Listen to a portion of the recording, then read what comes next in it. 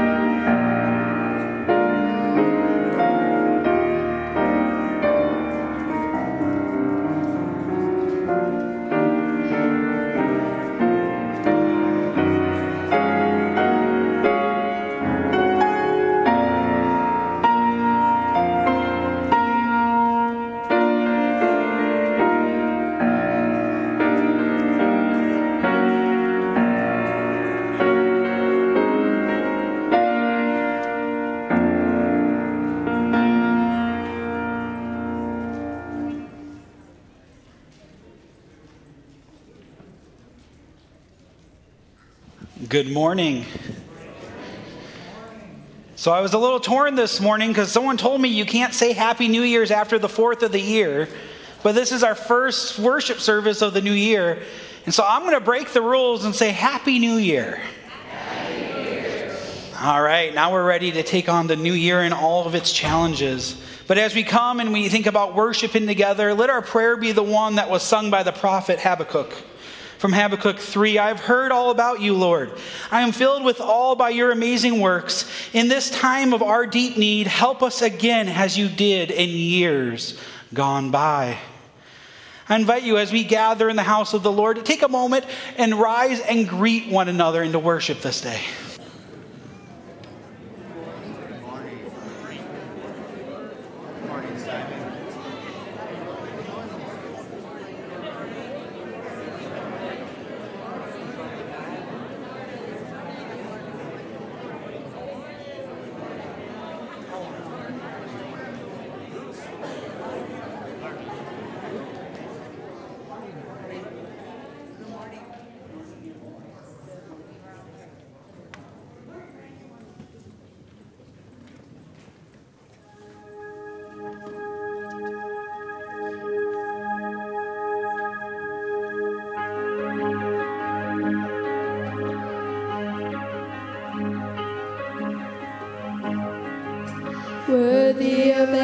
Song we could ever sing.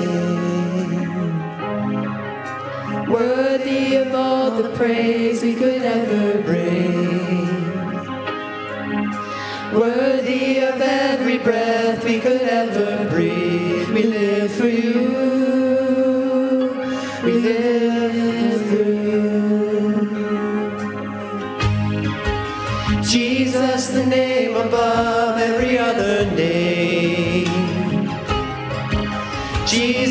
The only one who could ever save.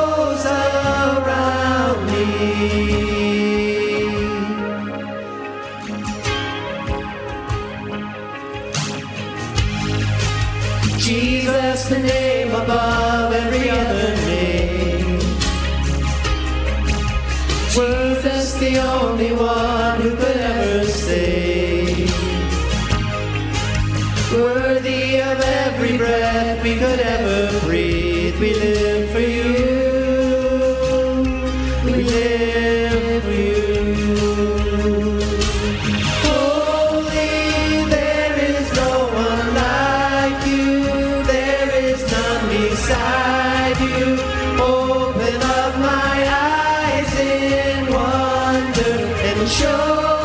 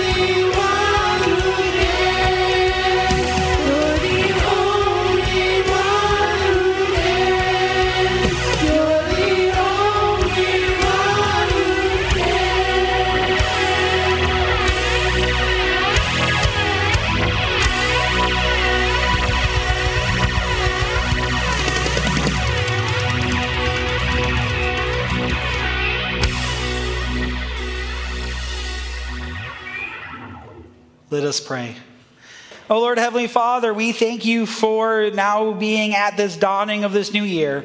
We thank you for your work in our lives. And as we sang together of your goodness, of your works, of what you have done and what you can and continue to do, let us approach our worship, our lives living out for you in this way. That we trust not on our plans, on our abilities, our strength, but instead, Lord, that we trust in you. May our worship be a matter of trust and worship and praising for who you are and what you have done and what you continue to do in our lives.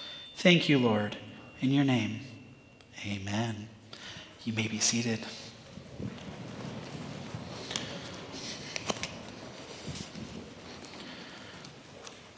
I have just a couple announcements this morning. Uh, first is if you look in your bulletin, uh, there's an announcement about the summer mission trip. If you are interested, or you even think there's a chance you might be interested in the summer mission trip to Mexico, there is a meeting in the youth room after service. And so if you go to the ARC Center, the gym, and you go upstairs, that's where the meeting will be to talk about those plans and that potential um, of going and being a part of that trip. And that's open not just for the youth and their parents, but any, any adults that want to come along and, and be a part of that adventure are, are more than welcome. And so, if you're interested, please take the time to learn more about that mission and serving opportunity. You might also be wondering this morning why there's a shredder in front of church. That's not a permanent fixture, but we'll find out later. And so that's my teaser for later in the service.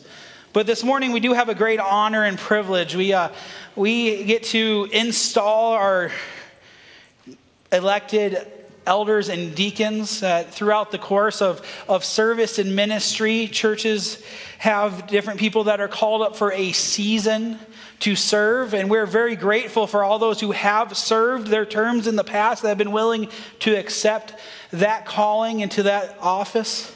And, and this time, I'd like to invite forward those four that were um, nominated for this term to join us up front here as we install them as newly elected and installed, therefore, elders and deacons.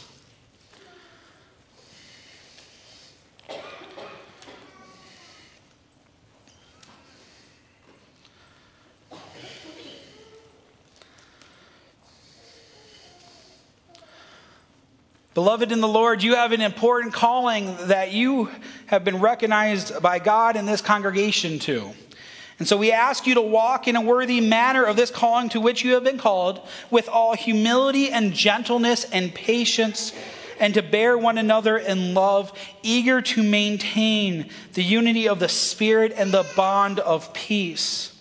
We know that there is one body and one Spirit. And just as you were called to the one hope that belongs to your call one Lord, one faith, one baptism, one God and Father of all, who is over all and through all. But grace was given to each one of us to measure of Christ's gift. And he gave the apostles, the prophets, the evangelists, the shepherds, the teachers to equip the saints for the work of ministry, for building up the body of Christ until we attain to the unity of faith and the knowledge of the Son of God, to maturity, to the measure and the statue of the fullness of Christ. This congregation, through a process of discernment, has elected the following people to the offices of elder and deacon. As elder, we have Don Brands and J.R. Lunenberg. For deacon, we have Jason Heatbrink and Eric Lindner. We believe that this true church ought to be governed according to the spiritual order that our Lord has taught us in His Word.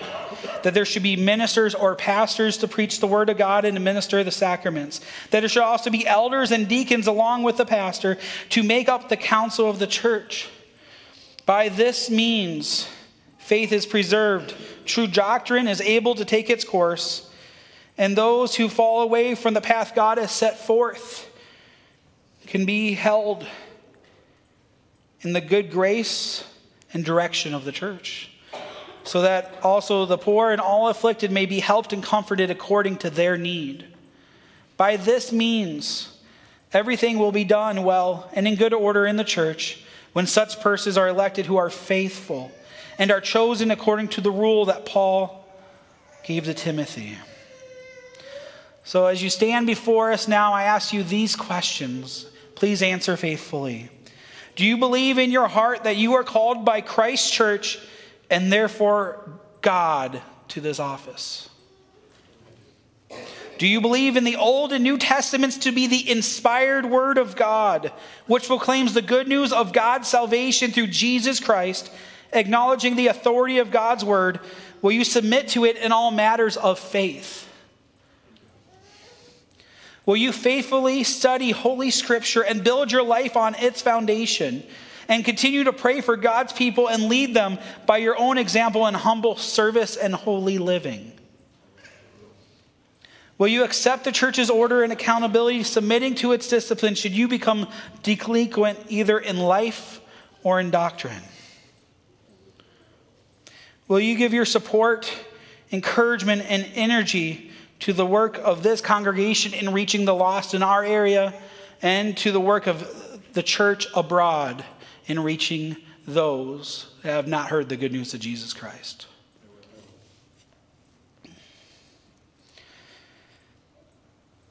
Jason, Eric, has deacons, will you faithfully, diligently, and cheerfully show Christ's love and care, gather and distribute offerings of God's people, visit and comfort the distressed, minister to the poor and needy, and strive to advance God's reign of justice and peace. Don, JR. As elders, will you faithfully, diligently, and cheerfully study God's word, oversee the household of faith, encourage spiritual growth, maintain loving discipline, and provide for the proclamation of the gospel and celebration of the sacraments. Don and JR as elders, and Jason and Eric as deacons. We call you and ask you to be faithful in performing your duties, to magnify the one who has called you to these high and holy offices, to be zealous for the church of Christ, hospitable, prudent, upright, devout, and self controlled love goodness, holding always to the mystery of the faith. Members of American Reformed, please rise to affirm your covenant with these elders and deacons whom God has given us. Just as we ask them to be faithful in this calling, we as a congregation are asked to be faithful to ours as well. And so, beloved in the Lord Jesus Christ, I ask, do you receive in the name of the Lord these deacons and elders as duly elected and ordained servants of Christ? If so, respond with, We do. Do you promise to respect them for the sake of the offices for which they have been chosen and ordained? Do you promise to encourage and pray for them to work together in obedience to the gospel for the unity, purity, and peace of the church? And the honor of our Lord Jesus Christ. Beloved people of God, receive now these deacons and elders as Christ's own servants. Support them in love that their work may bear fruit.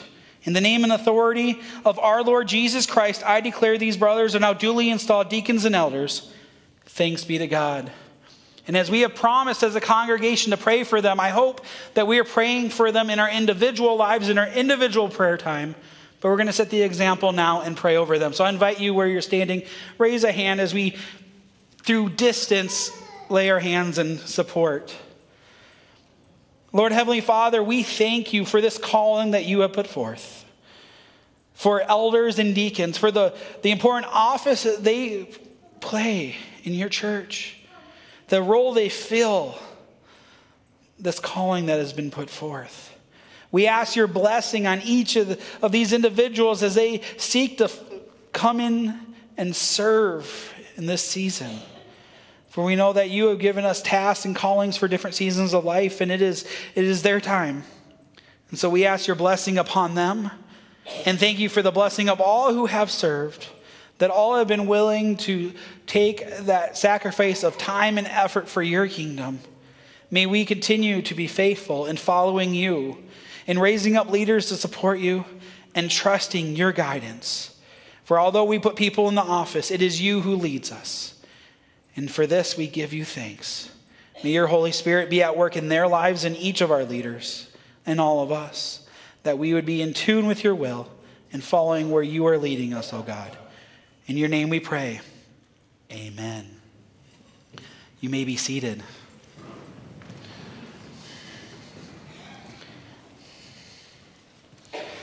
Here in the moment before we, we have our time in the Word, we're going to we're gonna dismiss our little ones to Children's Church. Um, but before we do so, let's pray over their time and our time together as well.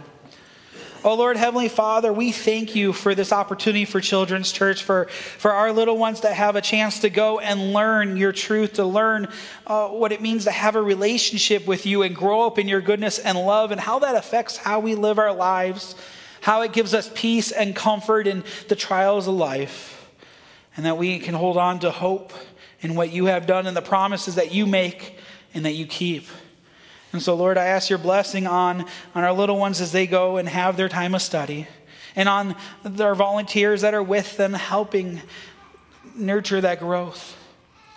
And Lord, as we continue to, to worship you through studying your word, I thank you for the gift of Scripture, for the example that you have given us that we don't have to guess what is true, what is right, what is holy, but we can look to your word and what you have set forth for us that we might know what it means to follow you.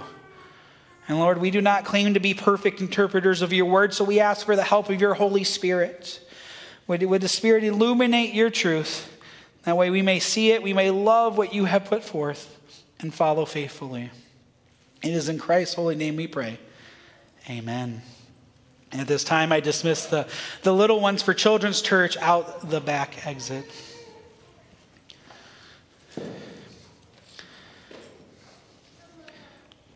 As we start off the new year, we're going to be looking at a couple things that have to do with this idea of turning the page. But I do want to point out as we turn to this morning's message, if you choose to follow along, there are notes in your bulletin this morning. Also, you'll notice there's another sheet called Good Riddance that we will reference later. That is also found in your bulletins. But, but it is official. Even though we're a week into the new year, 2023 is gone. It is in the past. 2024 is here. And if you're someone who still writes checks, I know not everyone does, it's a hard transition to write a different date. It is a transition into this new year. And what we found is although we, we celebrate, or at least some of us celebrate, some of us go to bed early on New Year's Eve, either way, just turning the page on the calendar, it doesn't make everything magically different, does it?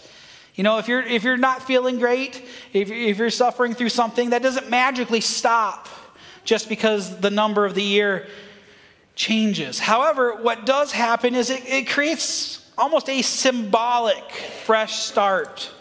And, that can be exciting for people, and it can also be motivating.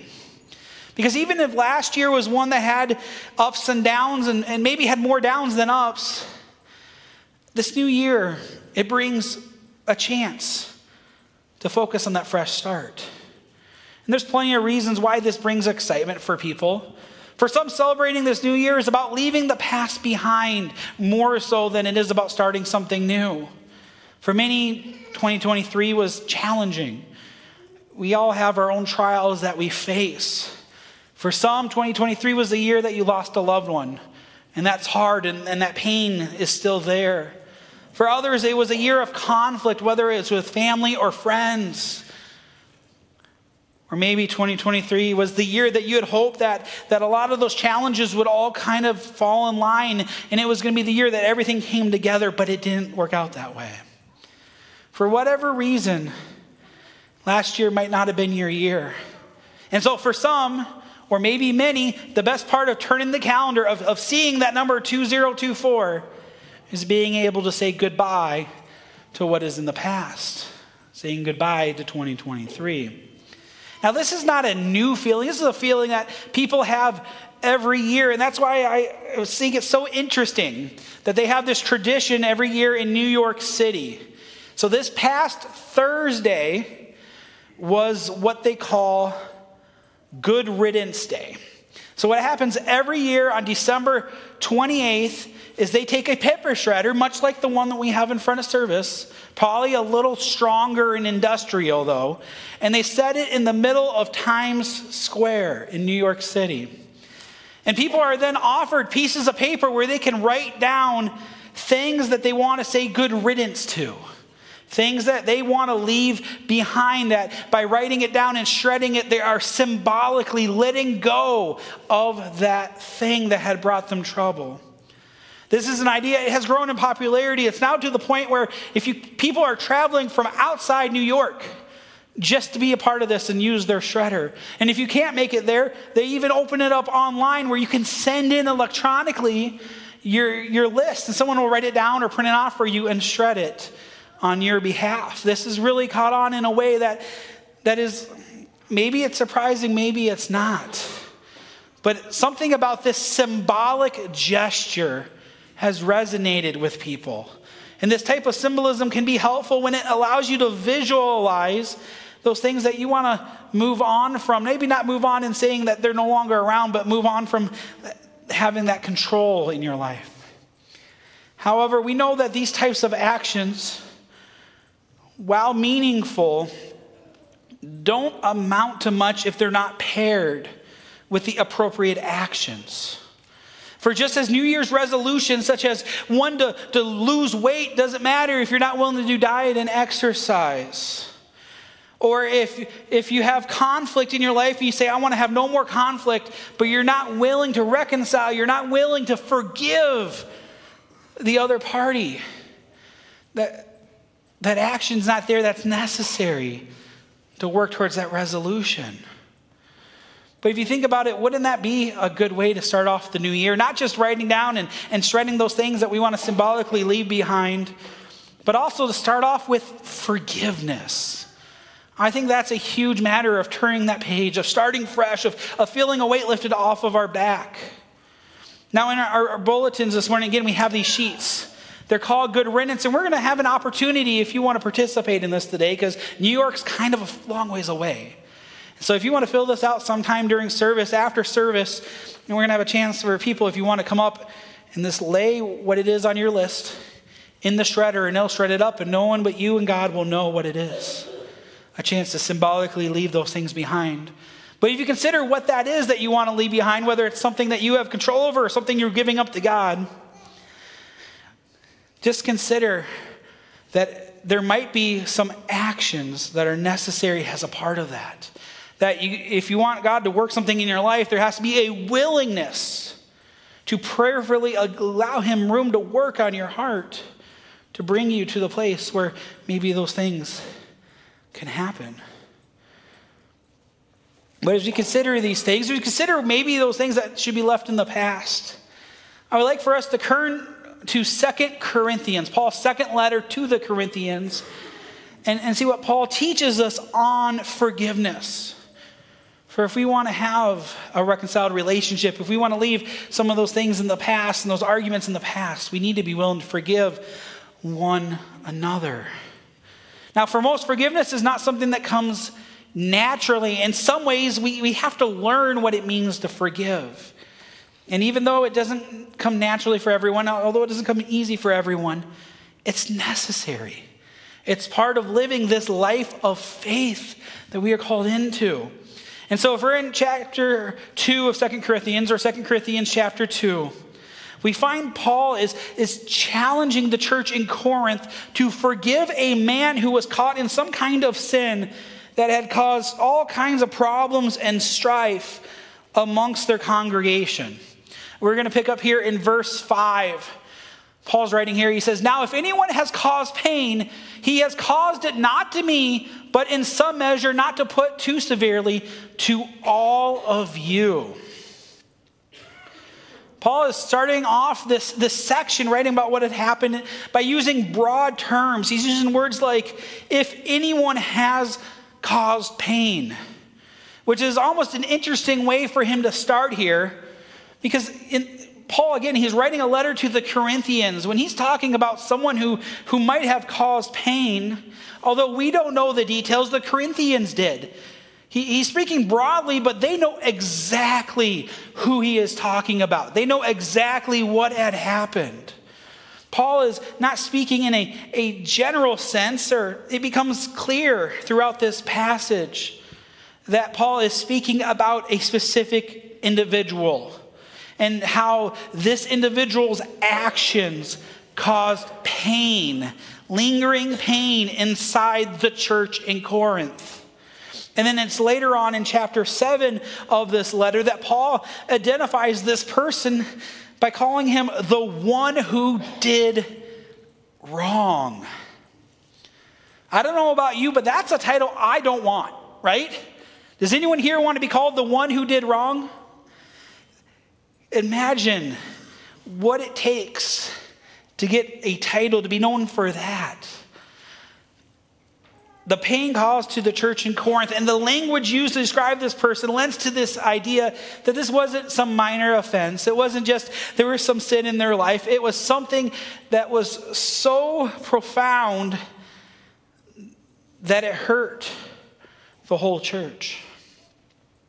Whatever it was, obviously, this is a big deal we're talking about. Big enough that Paul did not need to name the offense for each of those Corinthians, each of those members of that congregation, they knew what had occurred. Historically, the, the church, we're talking about the church throughout the ages, the believers, they believed that the one who did wrong from this passage was the same man from 1 Corinthians, from Paul's first letter to this church, who had developed a romantic relationship with his stepmother. If you want to learn more, go back into 1 Corinthians. But, but what we find then is if that was the case, if he's talking about the same person from this other letter, it would mean that the church in Corinth would have acted upon his direction because Paul had asked them to, to bring discipline on that person by removing them for a period of time from the worshiping and body until they could repent and be back in right standing. Of course, over the years, there, there have been other ideas developed on, on what this person might have done to earn that title, the one who did wrong. But since Paul never specifically states who this person is or what they did, we we are just left with the evidence in these letters to piece together our best guess. And if you're like me, that's hard. I like knowing the details. I don't necessarily like having things out there that we don't get to know for certain, especially if it's something important enough for Paul to write about. However, despite our, our wanting of that knowledge, there might be a good reason why Paul doesn't name the offense. His purpose in writing this, this section of this letter to the Corinthians is not to recount what happened that would do nothing for the church. They know what happened, they lived through those events. They are still dealing with the consequences of what occurred. No, he is writing to the Corinthians not to remind them what happened or to say what happened wasn't good, but he is writing to them so that they might foster forgiveness towards this individual who has caused pain and has most certainly felt pain in this process. For this is what Paul goes on to say the next two verses. He says, For such a one, this punishment by the majority is enough. So you should rather turn to forgive and comfort him, or he may be overwhelmed by excessive sorrow. What Paul is describing here in some ways is what we call church discipline that there was a, a, a matter of helping one realize there's a need to repent, but now they're, they've come to that realization, and it's up to the body to welcome them back and help them walk a life of faith. And so that's where Paul comes and he requests the Corinthians that they both forgive and comfort this person. He wants them to minister to this individual amongst their repentance. Now, the exact form of discipline is not given, but we can determine is that this person had repented of the sin during that time. And Paul's request that this offender be shown forgiveness may have actually, if you think about the context of the day, been a little surprising to the recipients of this letter, to those Corinthian believers, because although they were Christians, they were also Romans, that they lived under Romans, Roman rule. And the Roman way of life was not one of forgiveness and encouragement and, and comfort. The way the, the Romans ruled was that you completely destroy your enemies. If someone has wronged you, you destroy them. And so Paul's willingness to forgive could have made him look weak in that culture, in that point in time. But sometimes the things that look like weaknesses to the world around us are actually the true signs of strength and a mature faith.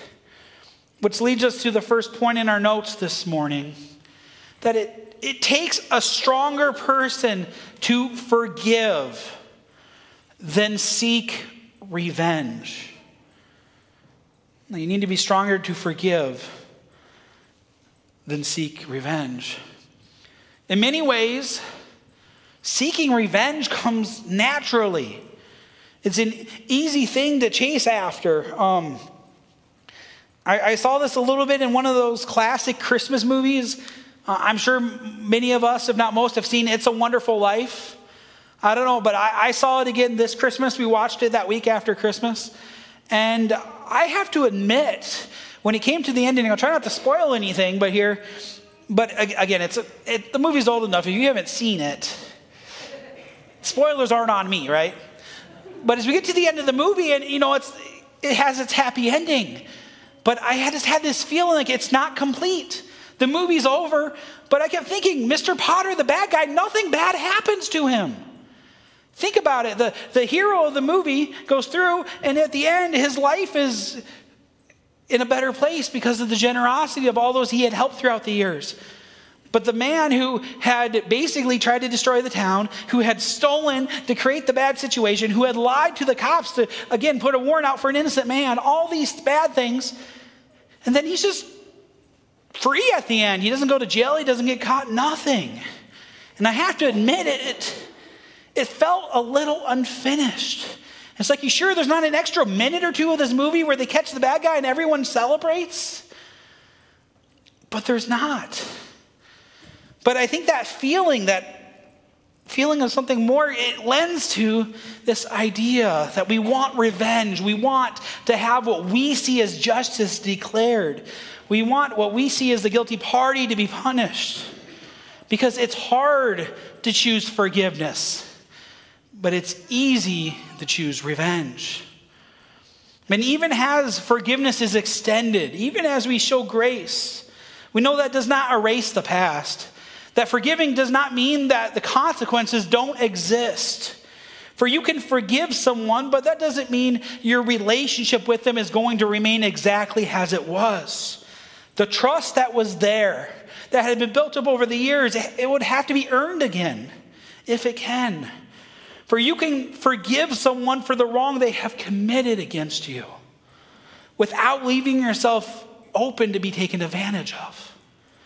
And it can be a difficult lesson to learn, but it's an important one of how do you show someone the love of Christ without becoming their doormat? Because there are people who will take advantage of your kindness of a lot of the opportunity. And I think that's a challenge we all share. That the calling is there to be quick to forgive, while at the same point, not being taken advantage of in terms of that kindness.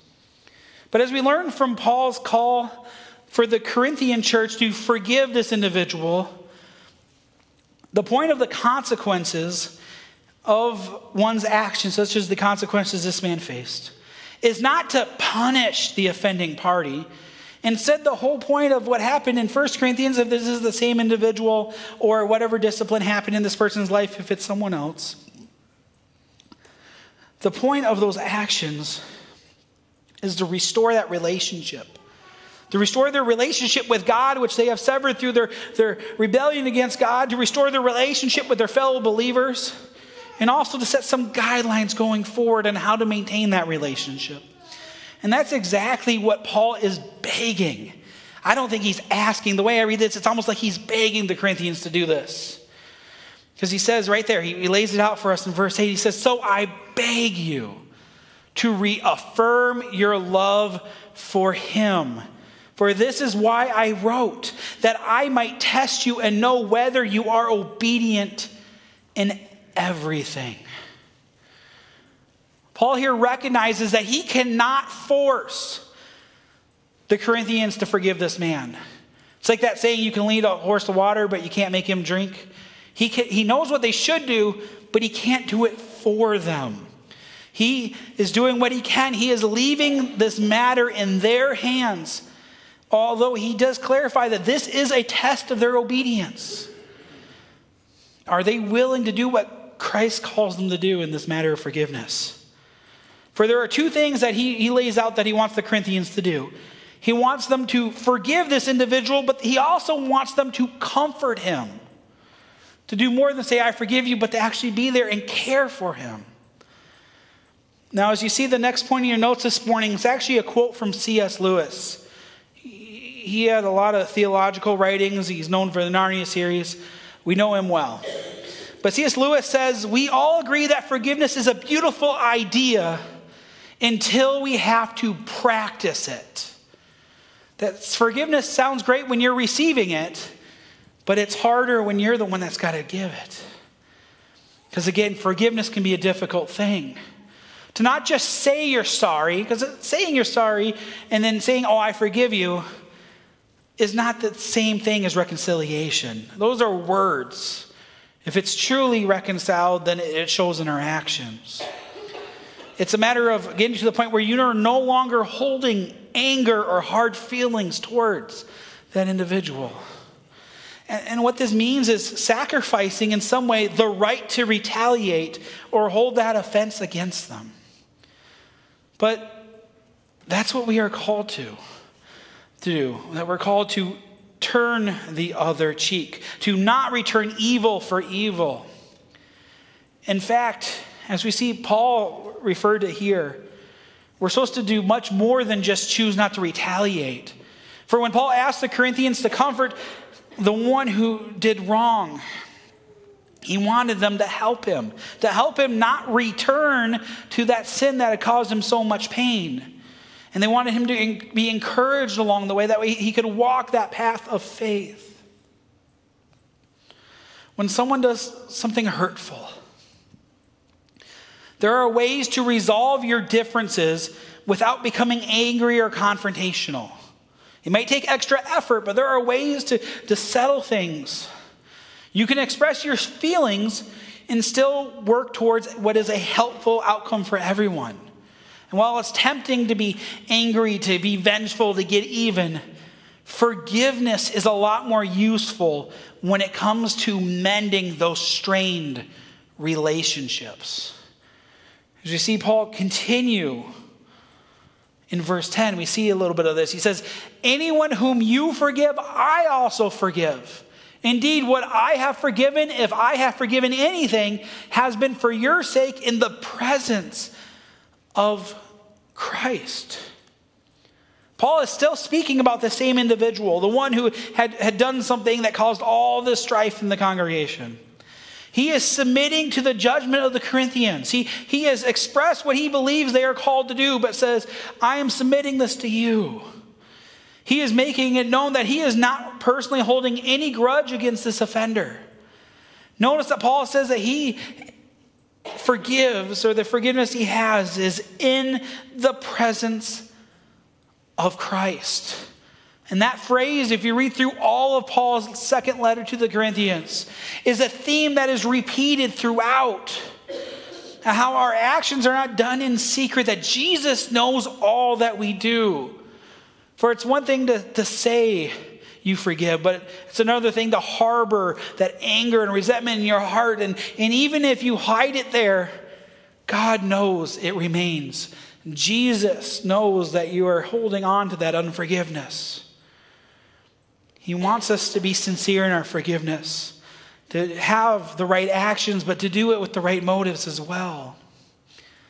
In this scenario, Paul is deferring to the judgment of the Corinthians although he is undoubtedly he is nudging them in the right direction it's almost as if he's saying because the offender here has repented and that he as paul is not holding any hard feelings towards the offender and we know that god has forgiven this offender that the church in corinth should really forgive this individual to take some action so he knows that they don't hold this against him.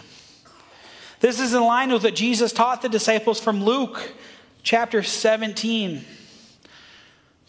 Jesus says, If your brother sins, rebuke him. And if he repents, forgive him. And if he sins against you seven times in a day and turns to you seven times saying, I repent, you must forgive him. Now, there's an interesting part of all this as we're talking about forgiveness as a body of believers. That Jesus is clear we're not supposed to become tolerant of sin. He says rebuke when they sin. Uh, you know, remind individuals of, of, hey, God calls us to this. Instead, again, we make our beliefs known to our fellow Christians. Like, hey, I, I see you're, you're walking away from this path of faith. But we also see in Jesus words as how as if someone has fallen into the same sin even more than once, as long as they repent, that we need to be welcoming and forgiving. That our desire is that all would come back to that place of faith that we would choose to let Christ reign mighty in our hearts instead of giving in to the distractions of the devil. Because we know that there are forces out there, that there are temptations, and that there is a spiritual adversary who is trying to draw us away from what Christ has put in our heart and has worked in our life. And Paul alludes to this very directly. He says in verse 11, so that we would not be outwitted by Satan, for we are not ignorant of his designs. With these words, Paul is moving past the example of a man who had created a, a great sin and put things into a much broader perspective. There is more at play in what he is teaching than, than one person's willingness to forgive another.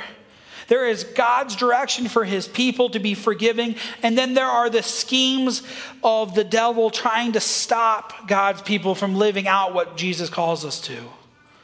Now, we probably don't speak enough of that great enemy, of Satan, the devil, loser, whatever you want to call him. But regardless, he exists and we know that He is doing what He can to try to draw us away from God. And when it comes to instances of, of hurt feelings or lack of forgiveness, you better bet that He is trying to influence you however He can. As we see in Paul's writing, let us not let Satan win a victory by giving in to our temptations, by holding on to hatred or unforgiveness. For when it comes to forgiveness, there are a couple ways that Satan can win that particular battle. We know the war has already been settled, Christ wins. But it doesn't mean we have to give ourselves to Satan in the process. And so the first of these in your notes is that Satan wants us to neglect church, church discipline. That's one thing we know that he wants. That if we go too far to one extreme, we can move beyond forgiveness into the realm of not holding people accountable for their actions. This is where church discipline and holding each other accountable as believers, it fades away. That if we just ignore what Christ calls us to do and how to live our lives. Now, I know this is a touchy subject for many people and it's hard to talk about holding each other accountable, but it's important. It's important because Jesus talked about it often. And some would rather just everyone mind your own business and ignore what's happening to the person to your left or to the right. That we'll just leave it up to God to judge sin. And in some ways we do, but, but Jesus commands us to do more than just tolerate the sin in our midst, that we fight against sin, that we encourage one another so that together we could be a people who desire the things of God, not the things of this world. Because at that point, where we say, you know what, we're just going to say everything goes. When you get to that point, are you any better than a Pharisee? Remember what Jesus said about the Pharisees. He called, compared them to whitewashed tombs.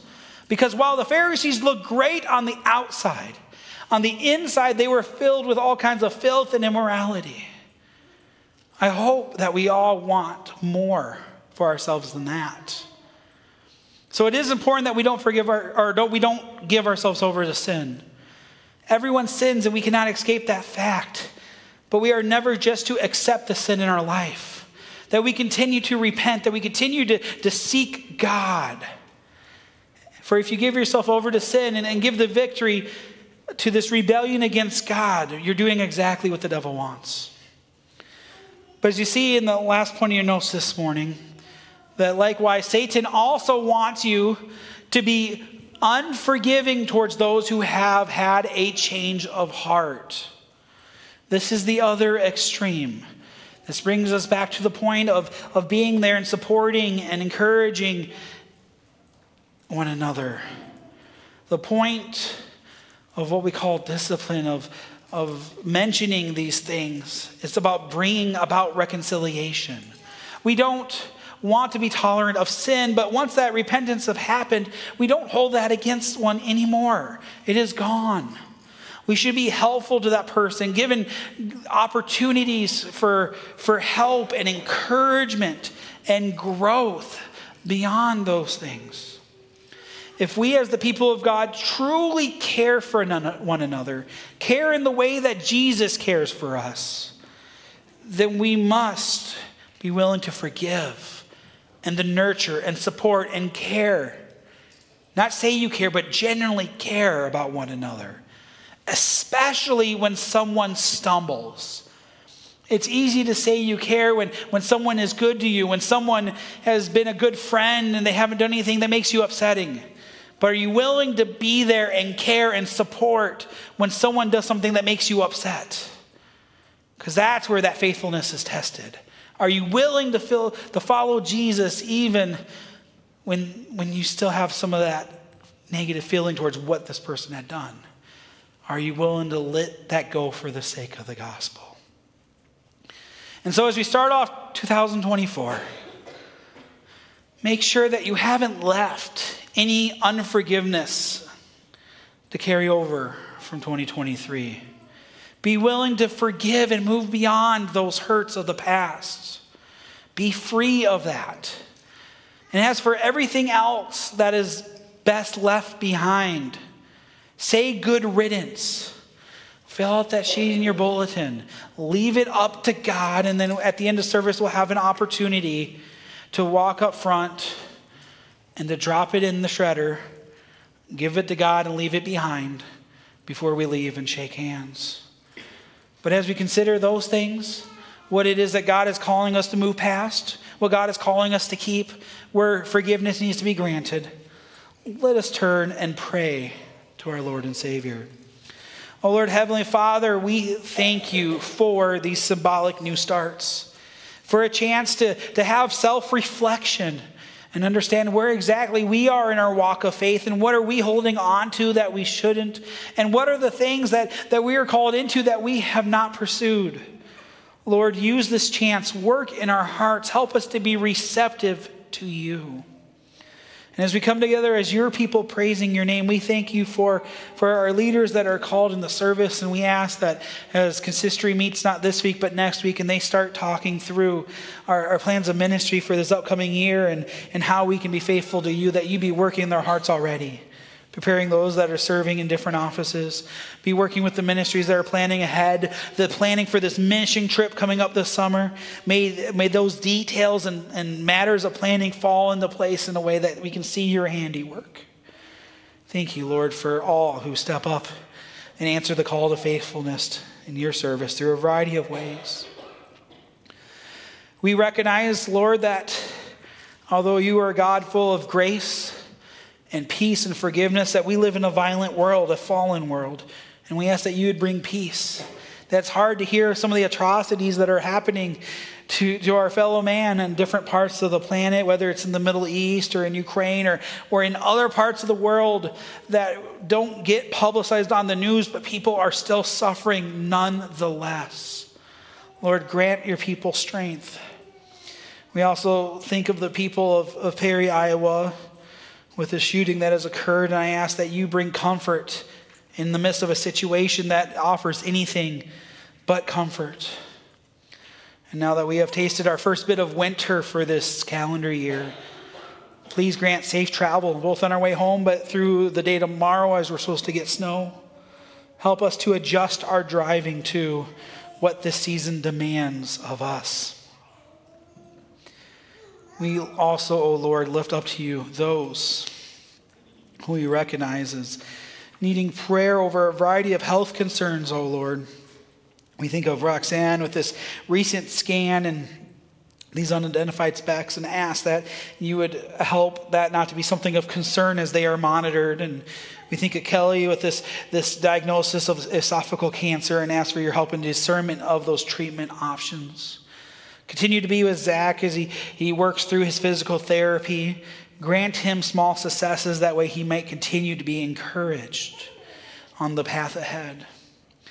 Please also grant strength to those who are fighting cancer. We think of Jaime and Pastor Irwin and Randy and Scott and others.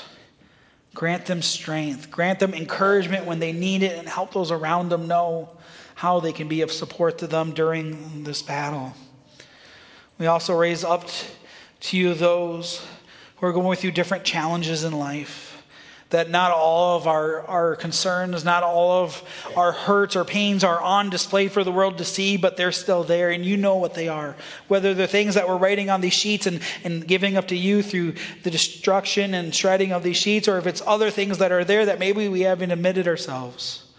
Help us to trust you enough to come to you in prayer, come to you in that private time and offer these things to you to allow you to work in our lives and trust you to fix these things that we know we cannot handle ourselves. And Lord, we, we ask you to be with those who are unable to be with us on a regular basis, those who would love to be able to come and worship with us, but because of health or other reasons are, are found at a distance. May you work in their lives. Would you offer them these same blessings and would you help them feel united this body as we join together in this time as your people? And we pray the prayer that you have taught us, saying, Our Father, who art in heaven, hallowed be your name. Your kingdom come, your will be done, on earth as it is in heaven. Give us this day our daily bread, and forgive us our debts as we forgive our debtors. Lead us not into temptation, but deliver us from evil. For yours is the kingdom and the power and the glory forever. Amen. At this time, I invite, if you're willing and able, please rise as we sing together number 382 Be Thou My Vision.